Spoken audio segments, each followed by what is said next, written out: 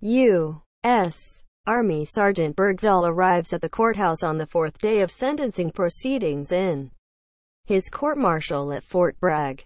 North Carolina President Donald Trump's repeated criticism of U.S. Army Sergeant Bowe Bergdahl has not hurt the soldier's chances of a fair sentence for deserting his post in Afghanistan in 2009 and endangering troops. A military judge ruled on Monday. Army Colonel Jeffery Nance said he would consider the president's remarks as a mitigating factor.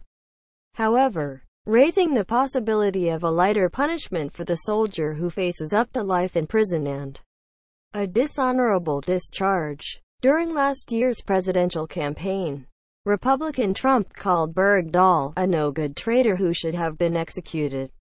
The defense said more recent remarks by the president showed his opinion of Bergdahl had not changed and had unlawfully influenced the proceedings. Nance said in court at North Carolina's Fort Bragg, where Bergdahl's sentencing hearing is underway, that Trump's comments during the campaign were conclusory, condemning and damning of the accused. But the judge said he was not influenced by the statements or the president's seeming renewal of them two weeks ago on the same day Bergdahl pleaded guilty.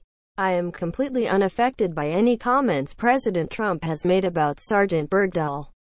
Nance said. Bergdahl, 31, pleaded guilty on October 16 to desertion and misbehavior before the enemy.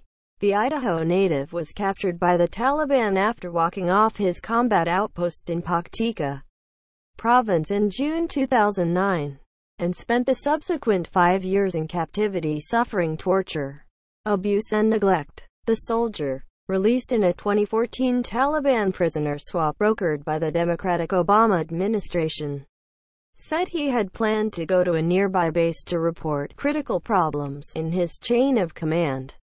U.S. Army Sergeant Bergdahl arrives at the courthouse on the fourth day of sentencing proceedings in his court-martial at Fort Bragg, North Carolina during the past week. U.S. Service members testifying for the prosecution described the risks and hardships they faced.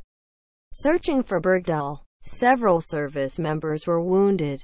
Master Sergeant Mark Allen was the most critically hurt, suffering a debilitating brain injury that left him unable to speak after being shot in the head. During a July 2009 mission to seek intelligence on Bergdahl, his wife, Shannon Allen, testifying as the prosecution's final witness, said the father of two from Loganville, Georgia, spent more than two years in military hospitals and can never be left alone due to seizures. Instead of being his wife, I'm his caregiver, she said on Monday, which doesn't mean I love him any less, but it's a very different dynamic. We can't even hold hands anymore without me prying open his hand and putting mine in. Quote, Reporting by Greg LaCour. Writing by Colleen Jenkins. Editing by Jeffrey Benkoe and Bernadette Baum.